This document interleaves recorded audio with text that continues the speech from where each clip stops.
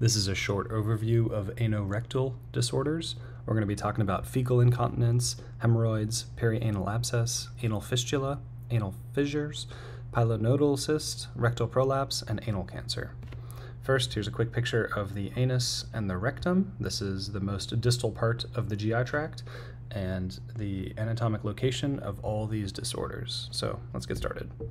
First, fecal incontinence. This is defined as recurrent, uncontrolled passage of fecal material, uh, usually at least 10 milliliters for at least one month in people at least three years old. You can diagnose this with just a clinical history, um, exam maybe. You can also consider a flexible sigmoidoscopy or anoscopy. And the definitive test here is manometry to measure the pressures um, in the anorectal region to measure how much the sphincters are working.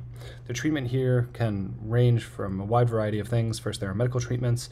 This is essentially bulking agents and fiber to help add bulk to your stools, um, prevent leaking. You can do biofeedback. This is muscle strengthening and control exercises such as Kegels.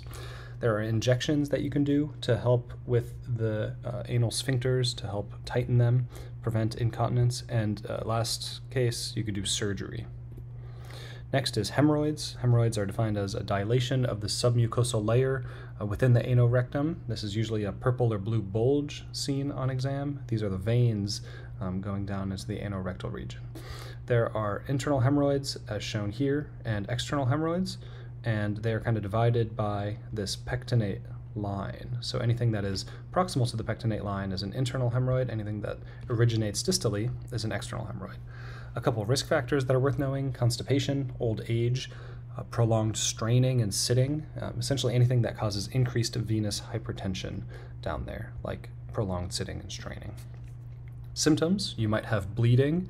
There's this bright red blood per rectum that usually signifies an internal hemorrhoid. Itching, burning, and pain usually uh, signifies an external hemorrhoid, and a large fraction of them, about 40%, are actually asymptomatic. So if you see bleeding, think internal. If you see uh, pain and a burning sensation, think external, but also know that many can be asymptomatic. The diagnosis is usually made clinically with history and exam. The best test here is anoscopy, actually uh, getting your eye down there and taking a look at it and seeing what's going on. Many treatments for this as well. Again, wide modalities. First, dietary changes. You want to make sure your patient is hydrated, has a lot of fiber, maybe taking stool softeners to help them reduce their constipation. Fat and alcohol can also constipate you, so reducing those in the diet might also help with constipation, which would then subsequently help with hemorrhoids. Regular exercise can also help with bowel movements. They can do these sitz baths to help with the pain. Topical steroids and anesthetics might work as well. If that doesn't work, you can progress to an internal hemorrhoid ligation, and if that doesn't work, you can actually go to surgery. It's called a hemorrhoidectomy. Next is the perianal abscess. The pathophysiology here is occlusion of an anal crypt gland that then uh, promotes bacterial overgrowth. It's not able to drain that bacteria out because the, the gland itself is occluded, and you have a formation of an abscess or a collection of pus, bacteria, white blood cells near the anus. So here are several examples of perianal abscesses. This, uh, they're, they're, named different things according to their location. Um, some of them might be painful, some of them might be less painful. Um, sometimes they can bleed, sometimes they can have discharge, um, many different regions for perianal abscesses. The risk factors here are Crohn's disease, um, irritable bowel disease, diabetes, and steroids can also predispose you to a perianal abscess. Symptoms you'll have discomfort when wiping. This can also progress to severe pain, and if the abscess infection spreads to the rest of the body, you might have systemic signs like fever. On exam, you might see a red, tender, fluctuant mass on the skin, inside or just outside of the anus. The treatment here is incision and drainage. There are systemic antibiotics, and you want to usually give systemic antibiotics to people that are high risk. And that's usually defined by people who have diabetes or people who have systemic signs of their illness, like fever and cellulitis. Um, those people definitely need systemic antibiotics in addition to incision and drainage. Everybody gets incision, incision and drainage if they have a perianal abscess. Next is the anorectal fistula. This is an abnormal communication between the epithelialized surface of the anal canal and the extra uh, and the external perianal skin. So these are these tracks that you see here in blue. There are many different kinds of anorectal fistulas.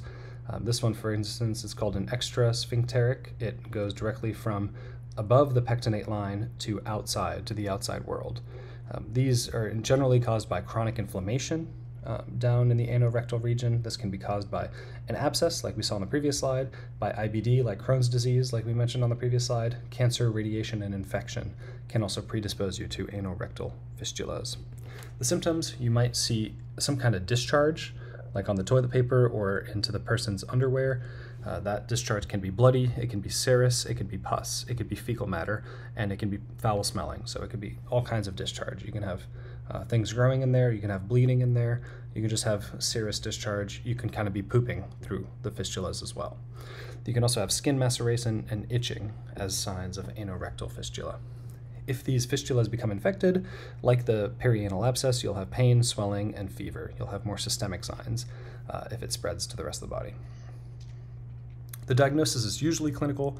You can do imaging, you can do a fistulogram to see these things. You can also do MRI and endosonography, but uh, usually you can make the diagnosis clinically. The treatment here is to manage inflammation if uh, it gets really bad, you're not able to manage it. So managing inflammation can mean several things depending on the origin of these anorectal fistulas. For instance, if somebody has IBD, you might need to give them better uh, immunosuppressants to manage that. If somebody has an infection, they might require antibiotics. If somebody has the perianal abscess, that's antibiotics. Um, if these things keep bothering a person, you can do surgery. It's called a fistulotomy, um, but that doesn't necessarily work all the time. And sometimes you can have recurring anorectal fistulas despite having corrective surgery. Next is the anal fissure. This is a mucosal tear. It can be caused by a tight sphincter and a large caliber stool. So uh, having prolonged constipation can cause this, and having prolonged diarrhea can also cause this as well. That the diarrhea can actually be caustic to the anal skin, and that can cause an anal fissure. Other things that might cause this are anal sex, uh, IBD, Crohn's disease again, and malignancies.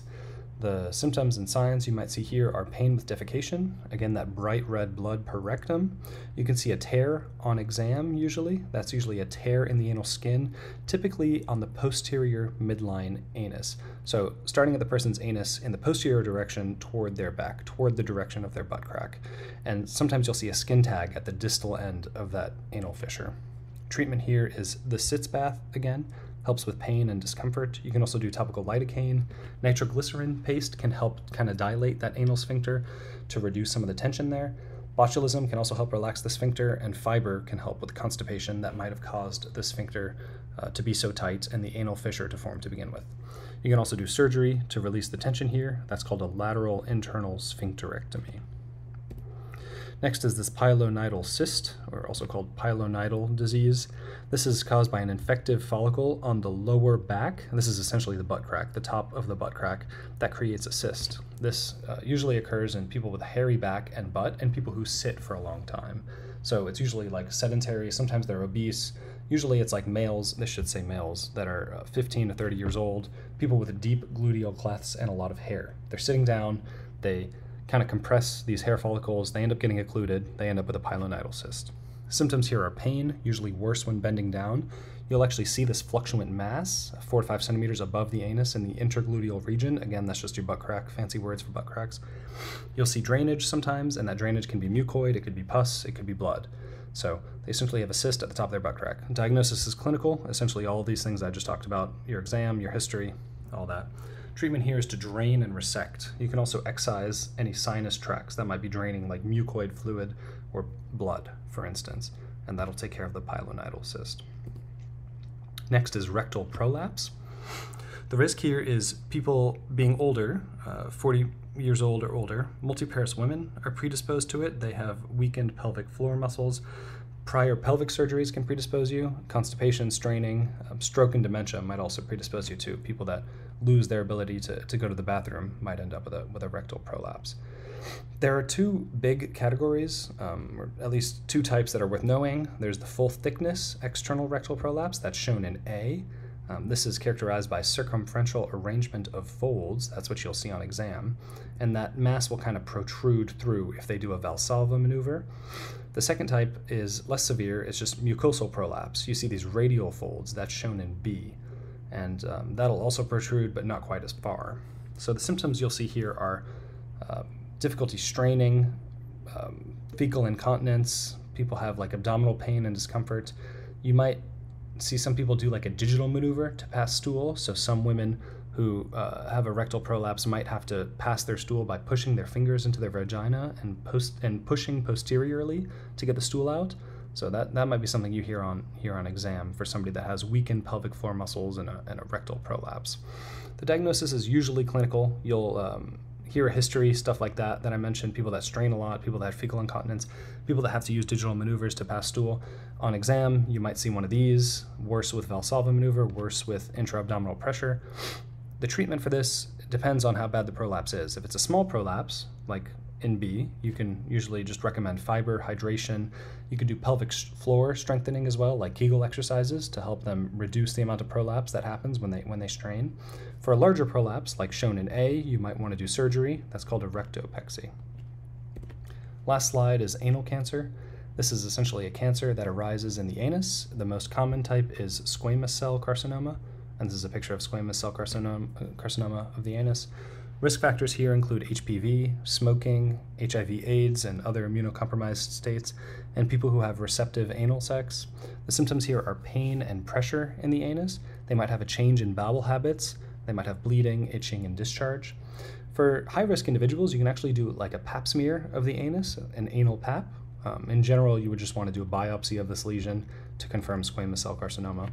The treatment is this protocol of medications 5-fluorouracil, mitomycin, and medical radiation. You can also do resection if necessary.